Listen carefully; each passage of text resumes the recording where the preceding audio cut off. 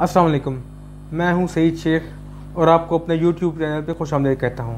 आपसे दरख्वास्त channel subscribe करें और बेल का आइकन भी ज़रूर प्रेस करें।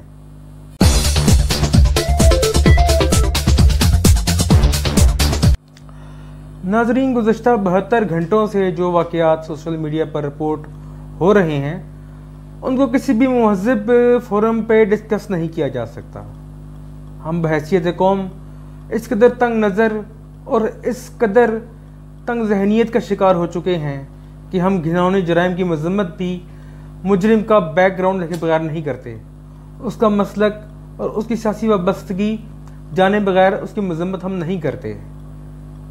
उस, इसके अलावा जो मज़ीद दुख की बात है कि अरबाब इख्तियार ने भी कुछ ऐसे बयान दिए हैं जो कि किसी भी सूरत मुनासिब नहीं हैं।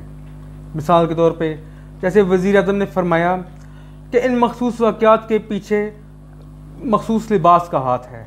अगर ख़वान मखसूस इस तरह का लिबास ना पहने, जो कि नामनासिब है तो ये वाक़ नहीं होंगे।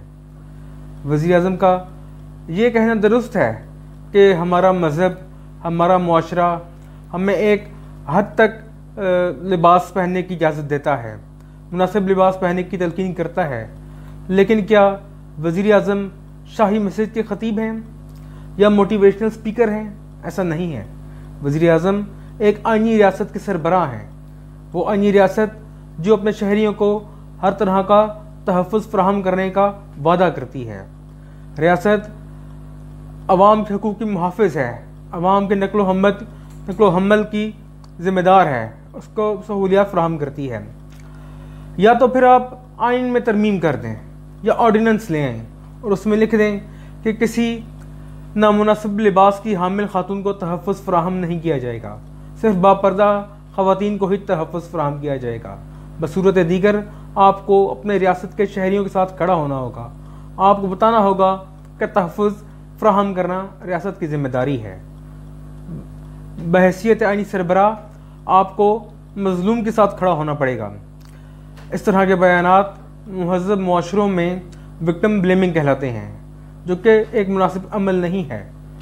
आप अब भी अपने बयान पर गौर करें और ऐसे बयान देने से गुरेज करें, जिससे पिसे हुए लोग मज़ीद पिस जाएँ और जुर्म करने वालों को मज़ीद हौसला उनका बढ़े, उनका हौसला शिकनी होना चाहिए। आज कभी लोग हम इसी बात पे ख़त्म करते हैं कि इन हमारा जो माशरा है वो ऊपर जाएगा, लेकिन जो हालिया वाक़ात हैं ये माशरे को एक पस्ती की जानब धकेल रहे हैं, जिसकी, जिसका अंजाम सिवाय तबाही और बर्बादी के और कुछ नहीं। मिलते हैं अगले व्लॉग में। शुक्रिया।